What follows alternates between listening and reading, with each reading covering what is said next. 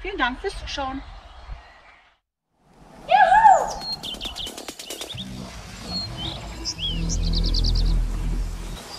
Habe ich euch schon mal gesagt, dass ich senken mag?